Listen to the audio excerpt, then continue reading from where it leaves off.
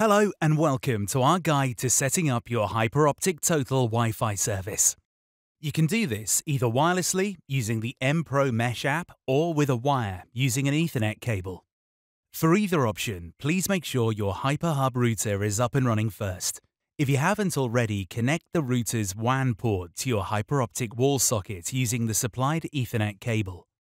Then connect the router to the mains power using the power supply and press the on-off button. To set up your Total Wi-Fi service wirelessly, you'll need to connect the MiniHub Wi-Fi extender using the M Pro Mesh app. First, clip your MiniHub into the stand.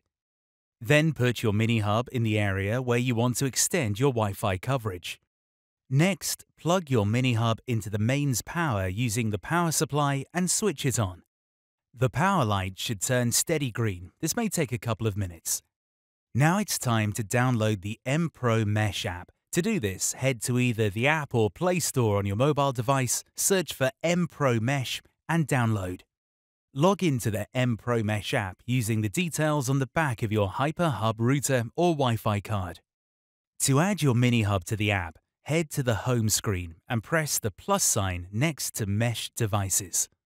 Then select the Use Wi Fi scenario and press Next. Press the WPS button on your MiniHub device and then on the app, press Start Pairing. Give it a couple of minutes, and once your MiniHub has been added to the app, you'll see this success screen. Please then press Done. Press Refresh on your home screen to see your MiniHub on the dashboard. The link light on your MiniHub will also turn green. All done. If you'd prefer to set up your total Wi-Fi with a wire, you'll need to connect your MiniHub Wi-Fi extender using an Ethernet cable. First, clip your MiniHub into the stand. Then plug your MiniHub into the mains power using the power supply and use the Ethernet cable to connect the LAN ports of the MiniHub and HyperHub router. To set up total Wi-Fi, switch on the MiniHub and wait until the power and link lights are both steady green. Once both lights are green, you can unplug the power lead and Ethernet cable from the MiniHub.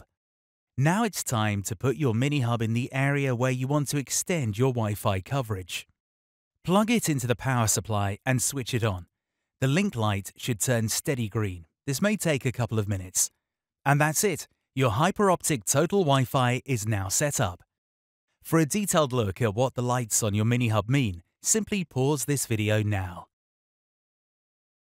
Time to enjoy the ultimate speed, reliability, and coverage in every room. For more info on HyperOptic Total Wi-Fi, head to hyperoptic.com/total Wi-Fi.